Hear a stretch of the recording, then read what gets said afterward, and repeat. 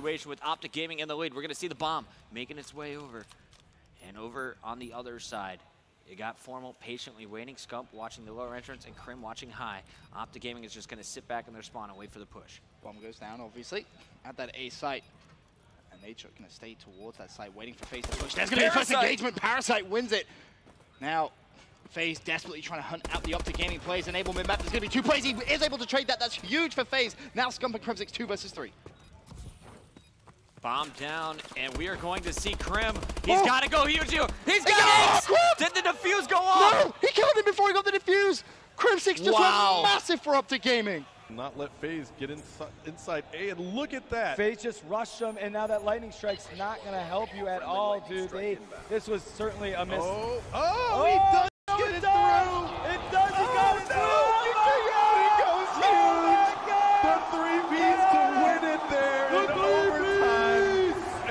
And they're hyped up. That Oh was my so gosh. big.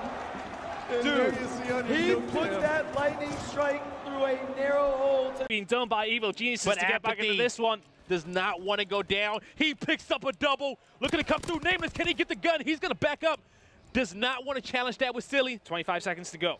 Still, still alive on this bomb site. The sniper from Clayster might just be a good Oh. enough Overwatch. Nameless gets the kill on the Silly. It is all down. Oh. Clayster gets the kill with a sniper. Looking for the kill on Apathy as well. What's going Oh, 10 he's gotta go seconds for to it. go. Oh, he's TP. Apathy's going for the defuse. He's, defusing. going to get Oh. the kill. It's all And about Clayster. locks it down. He had to go for that. Clayster making the plays happen in that round 11. Time is ticking. Proto gonna get the nade out. Couple players tagged up. They are still mhm. watching the flank, and it's not coming. Octane with the blood. A little bit more clearance to the site, but, But the that time- clock again. The pressure is gonna be on it. Beezy around the back. He's gonna be able to pick up the double kill to shut down Proto. And now you got what? Cellium versus 18 two. seconds. 1v2 for Cellium.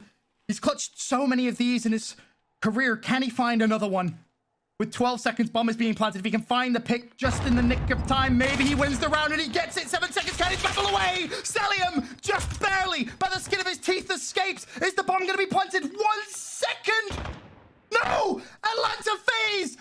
Atlanta FaZe! In a millisecond! 11! V4 to defend this bomb. Patient play so far from Denial. He's going to get called out, though. JKap turning the corner. 3v2. Saints and Zuma. Last alive. It's going to be up to Zuma. Last 1v1 against Clayster. All right, let me get Clay. You get the vision there on Zuma. We'll show Zuma's you going to be spotted. right now. Clay's The going shots to are pick coming it up. in. And Envy, Team Envy My is God, wins it. able to clutch it. Clayster!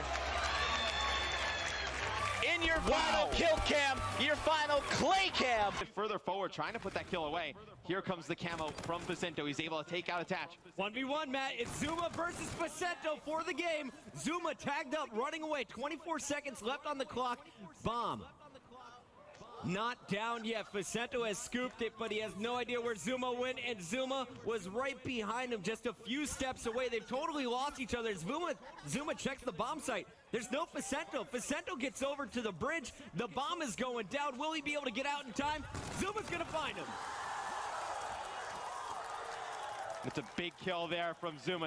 Here we go. Two versus three. Four Luminosity. They have the bomb planted.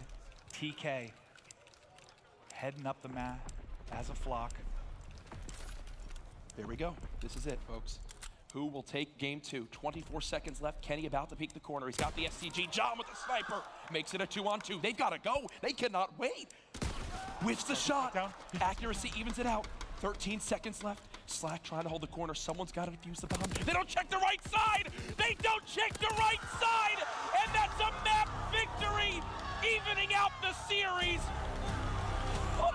That's a 2v4, buddy. A 2v4 for Slackton John. Gut-wrenching loss there for TK. So it's- you get a crazy clutch from Team Kaliber in game one. Clay tagging him up. He has to pop it. He forces it to pop reactive. Now he's just got to go. He's running into his doom. It's it's taken out. Clay with Clay with the one shot in the back might be the difference here in the round 11. Still an opportunity, though, for LG. Down to a 2v2. Now Oh my God! One! Place throw ball. Oh my God! Talk about choking!